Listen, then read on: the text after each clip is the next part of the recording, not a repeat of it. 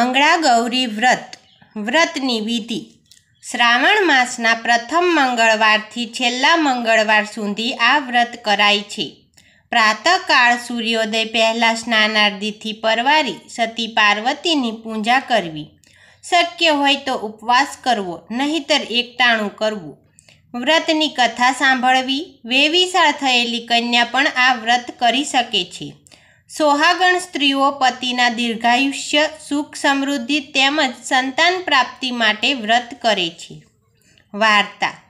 મંછાવટી નામે એક નગરીમાં દલીચંદ નામે એક દાની વણિક રહેતો હતો. તેની પત્નીનું નામ રમાવતી હતું. એ પણ ધર્મિષ્ઠ હતી.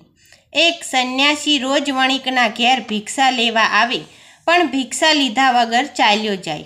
એક દિવસ દલીચંદે સંન્યાસીની જોડીમાં બે સોના મહોર નાખી. તેથી સંન્યાસી બોલ્યો, તમે વાંઝિયા છો. વાંઝિયા પાસેથી ભિક્ષા લેનાર મહાપાપી ગણાય. પણ તમે મને ભિક્ષા આપી જ દીધી છે. માટે મારે તમને સંતાન પ્રાપ્તિનો રસ્તો દેખાડવો જોઈએ. પૂર્વે ઘોર અરણ્યમાં માં પાર્વતીનું મંદિર છે. ત્યાં જઈ પાર્વતીજીને પ્રસન્ન કરો. વણિક તો પૂર્વ દિશામાં આવેલા ઘોર જંગલમાં ગયો.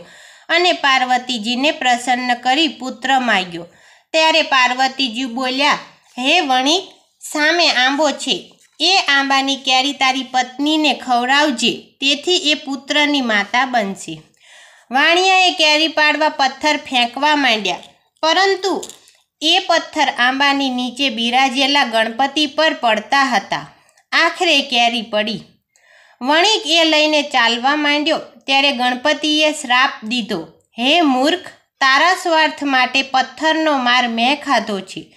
જા તારો પુત્ર એકવીસમાં વર્ષે મૃત્યુ પામશે. દલીચંદે ઘેર આવીને રમાવતીને બધી વાત કરી. જેવા આપણા નસીબ, એમ કહીને રમાવતીએ કેરી ખાધી. પૂરા નવ માસે દેવના ચક્કર જેવા દીકરાનો જન્મ થયો. તેનું નામ શિવચંદ પાડવામાં આવ્યું. શિવચંદ અઢાર વર્ષનો થયો. ત્યારે તો બધી વિદ્યામાં પારંગત થઈ ગયો. આ બાજુ વાણિયો વાણિયણ ચિંતામાં અડધા થઈ જતા હતા. ગણપતિનો શ્રાપ કોઈ કાળે મિથ્યા ન થાય. એકવીસમાં વર્ષે પુત્રનું મોત નક્કી હતું. એક દિવસ શિવચંદ તેના મામા કાશીરામ સાથે વેપાર ખેડવા નીકળ્યો. મામો પણ ભાણેજના મૃત્યુની વાત જાણતો હતો. ફરતા ફરતા મામો ભાણેજ રૂપાવટી ગામે આવ્યા. પાદરે ટીમણ કરવા બેઠા.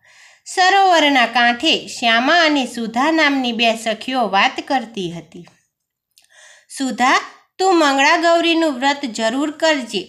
જે સ્ત્રી વ્રત કરે છે, તેનો ચૂડી ચાંદલો અખંડ રહે છે. હું તો દર વર્ષે આ વ્રત કરું છું. સુધા બોલી, હું પણ આ વ્રત કરીશ. મને વ્રતની વિધિ જણાવ. શ્યામા બોલી શ્રાવણ માસના દરેક મંગળવારે સતી પાર્વતીની મૂર્તિને એક બાજટ પર મૂકી સ્થાપના કરવી. ઘઉંના લોટનું એક કોળિયું બનાવવું, તેમાં સૂતરના દોરાની દિવેટ બનાવી તેમાં મૂકવી, ઘી પૂરી દીવો પ્રગટાવવો, ત્યારબાદ સોળ બિલ્લીપત્રો સોળ પુષ્પો, સોળ ધરોના પાંદડા, સોળ ધતુરાના પાંદડા સોળ અઘેડાના પાંદડા અને સોળ જીરાના દાણા સતી પાર્વતીને અર્પણ કરી શ્રદ્ધાપૂર્વક પૂજન કરવું. શક્તિ હોય તો એક વાંસની છાબડીમાં સતી પાર્વતીની મૂર્તિ અને ફળ ફૂળ મૂકી તેનું પૂજન કરી યોગ્ય બ્રાહ્મણને દાન કરવું. મામાએ આ વાત સાંભળી, વિચાર કર્યો કે, આ છોકરી સાથે જો હું ભાણાના લગ્ન કરું તો ભાણાનો મૃત્યુ યોગ ટળે. આમ વિચારી મામાએ કહ્યું કે ચાલ ગામમાં આટો મારી આવીએ. મામો ભાણેજ ગામમાં આવ્યા. મામાએ તો શ્યામાના પિતાનું ઘર ગોતીને ઉતારો કર્યો, શિરામણ કર્યું, પછી ધીરે ધીરે ભાણાની સગાઈની વાત માંડી. શ્યામાના પિતાને તો ઘેર બેઠા ગંગા જેવી વાત થઈ. શિવચંદ જેવો સોહામણો જમાય અને સારા સગા મળતા હોય તો શું વાંધો હોય? આમ મામાએ ભાણાના વૈવિશાળ શ્યામા સાથે નક્કી કર્યા. મામો ભાણાને લઈને ઘેર આવ્યો. બહેન બનેવીને બધી વાત કરી. ધામધૂમથી માગસર સુદ તીજના દિવસે લગ્ન કર્યા. શ્યામા તો પરણીને સાસરે આવી. લગ્નની પહેલી રાતે શયનખંડમાં સૂતી છે. ત્યાં જ તેજ તેજના અંબાર સમા મંગળામાં સપનામાં આવીને કહેવા લાગ્યા, જાગ દીકરી, જાગ. ટૂંક સમયમાં એક સર્પ તારા પતિને દંશ દેવા આવશે. તારો પતિ મરશે તો મને લાંછન લાગશે. માટે સવામણ દૂધ ભરેલા માટલામાં સવા શેર સાકર નાખી એ માટલું તારા પતિના ઢોળિયા પાસે મૂકજે. દૂધ પીતા જ સાપનો ક્રોધ શાંત થઈ જશે અને એ ખાલી માટલામાં બેસી જશે. તું પહેરેલો સાડલો ઉતારી માટલાનું મોઢું બાંધી દેજે. સવારે માટલું તારી સાસુને આપી દેજે. આમાં કાંઈ ભૂલ થાય તો તું જવાબદાર. સ્વપ્ન પૂરું થતાં જ શ્યામા સફાળી જાગી ગઈ. એને ખાતરી થઈ કે પોતે કરેલા વ્રતના પ્રતાપે જ મંગળામાં ચેતવવા આવ્યા હતા. એણે તરત જ સવામણ દૂધ મંગાવી માટલામાં ભર્યું. એમાં સવા શેર સાકર નાખી, પતિના ઢોળીએ માટલું મૂક્યું.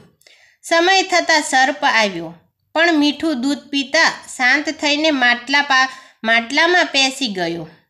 શ્યામાએ પહેરેલ સાડલો ઉતારી માટલાનું મુખ બાંધી દીધું. સવારે એ માટલું સાસુને આપી બધી વાત કરી. સાસુએ હરખાઈને માટલું લીધું અને સર્પને નદી તીરે છોડી મૂક્યો.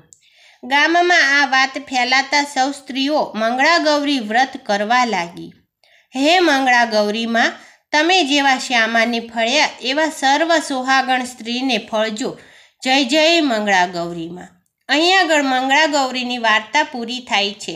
જો તમને મારો વીડિયો પસંદ આવ્યો હોય તો વિડીયોને લાઇક કરજો, શેર કરજો અને ચેનલમાં જો નવા હોય તો ચેનલને સબસ્ક્રાઈબ કરવાનું ભૂલતા નહીં.